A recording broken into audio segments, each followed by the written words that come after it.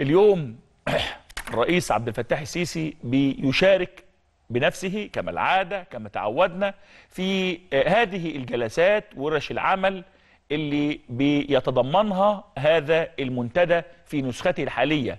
كان البحث العلمي له تواجد. كان الدولة الوطنية لها تواجد. كان التعاون بين الدول الأفريقية ودول حوض النيل له تواجد. الشباب الأفريقي وطموحاته كان له تواجد. تواجد الرئيس في كل هذه الورش كل هذه المناقشات كل هذه الحوارات. أعطاها زخما وأعطاها أيضا أهمية وأعطاها اهتماما.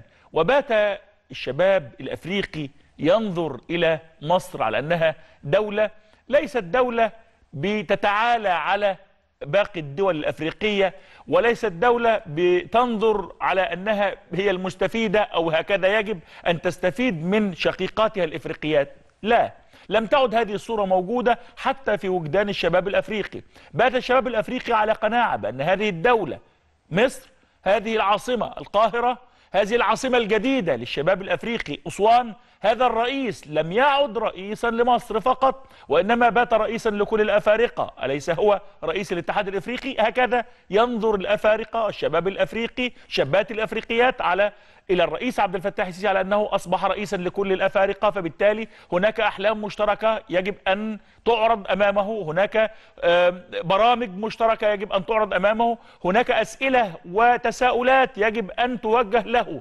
بصفته ليس رئيسا لمصر إنما رئيسا للاتحاد الأفريقي برمته.